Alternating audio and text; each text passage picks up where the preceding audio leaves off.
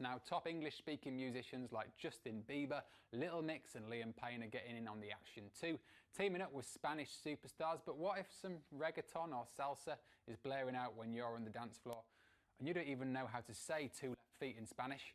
Here now to teach you how to move to a Latin groove is salsa teacher Amanda Hawley from Todo Latino. Amanda, I turn on the radio at the moment and I hear Spanish vibes everywhere.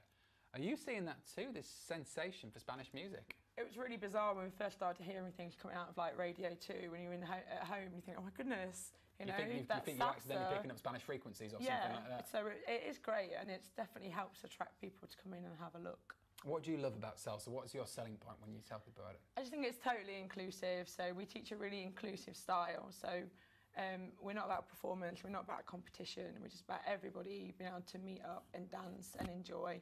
And you can dance with like 100 people in the evening and meet loads of new people. It's a great way of getting to know people. 100 people, you probably forget a lot of names, but Yeah, we don't really do names that often. Right. It's more like, hi, would you like to dance? Yes, please. Like, well, lovely, thank you very much. Todo Latino, what is it? Who are you and what do you do? So we, we're based in Nottingham. Um, I teach predominantly in Nottingham, but also all around the country. Um, we teach Cuban salsa, bachata from the Dominican Republic, and some merengue. Other bits as well, so mainly big group classes, predominantly adults. We have six levels, so we always have like bite-sized levels for people, so you're never kind of in with people who are way above you or way below you. Um, I've got students I've had for over 10 years who keep coming. We're changing all the time and evolving.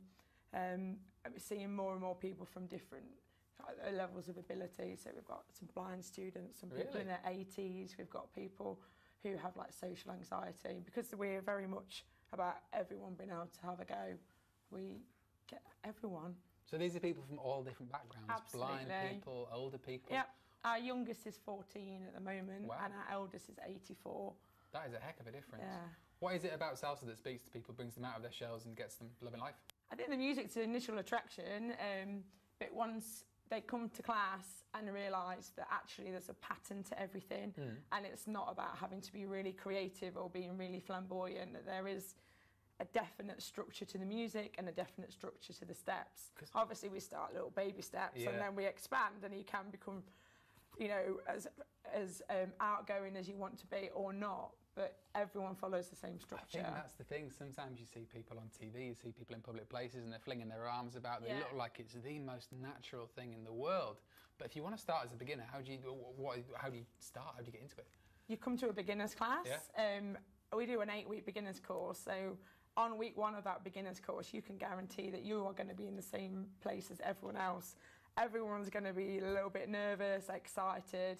It might be not be their first time of trying to come in, but because everyone's together, we go step by step. And over that eight weeks, you learn your basic 16 techniques. All right, you've mentioned baby steps, and I think I think it's probably mean newborn steps for, for what we're about to do here. But I wondered if you could teach teach us some salsa Yeah. to me, to the people Sure. watching at home. Would either of you like to get in on the action, the salsa action? What are we back. saying? Go on then. Uh, Alice's game. Kickboxing, salsa. Alice Young is up for anything. All right, I think we can get some music going and talk us through. So just need you to think about walking. Walking, that's Yeah? easy. Yeah. I'll do that. So in exactly the same as way as you walk, you're going to transition your weight from one foot to the other. Okay. And then you're going to have a little rest. So we're going to start on our left. So we're going to step left, right, left, and then right, Right, right, left, left, right. Soften your knees a little bit. Let your Soften shoulders my knees relax. a little bit. I feel like I'm locking them a little yeah, bit. I've don't got like sticks them. on the end of You've end got to have a little bit of bend. So Okay. as you step left, you're going to step, step together, Ooh. and then you rest and come out, step together. The and resting again, part's easy. the left, yeah, that's usually the bit that people try and avoid. But it's the best bit.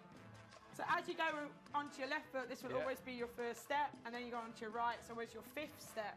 So we step steadily, one, two, three, and five, six. Have you got that one? We've got it. We've nailed it. I, I feel think. like you're like my shadow. We're definitely on this. You, you, you've got the right position. You're managing to Yeah. copy it. Yeah.